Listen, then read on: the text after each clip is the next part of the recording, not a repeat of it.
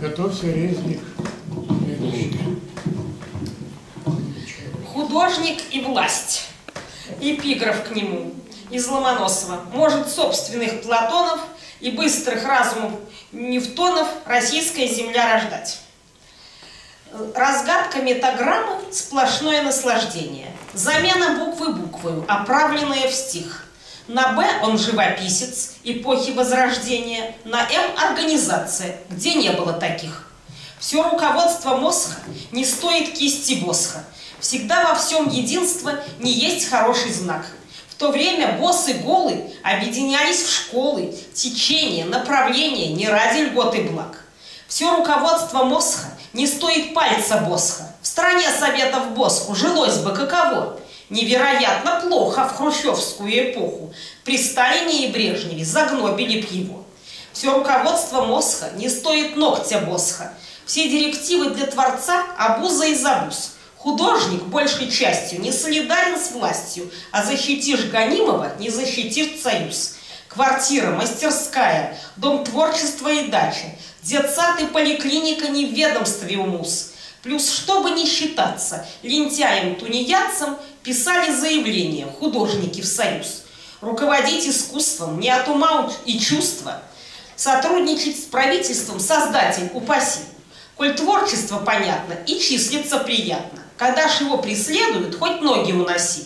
Среди руководителей талантов очень мало. Имели б душу чуткую и не куриный мозг, тогда земля российская бы гениев рождала. Художников талантливых, как Рубинс, Брейгель, Босх. Вот еще одному художнику действительно плохо жилось при советской власти. Был, к сожалению, не признан, но после смерти у него и музей, и все, в этом музее даже литературные вечера проходили. Музей Сидура. Искусство подчас бывает сурово. Создатели не щадит совсем. Наземный транспорт идет от Перова к Новогиреевской 37 где причудливые скульптуры, кривые линии там и тут. Не ходят эстеты в музей Сидура, туда глубокие люди идут. Проявлял он гражданскую доблесть, презирал советскую ложь. А что означает конкретный образ, без аннотации не разберешь. Трудно было со злом бороться, здоровье и средства были не те. Он, изображая уродцев, молил о гармонии и красоте. Не рисовал комсомольские стройки, ножкой не шалкаркал, не бил челом. Для изваяний своих на помойке брал деревяшки и металлолом. Фавора не было даже в проекте. Он для творчества облюбовал в доме на Комсомольском проспекте сумрачный неприютный подвал. Мастерской подходящее место для нелегальных творческих встреч. Недаром стоярались друзья от ареста и от инфаркта его уберечь.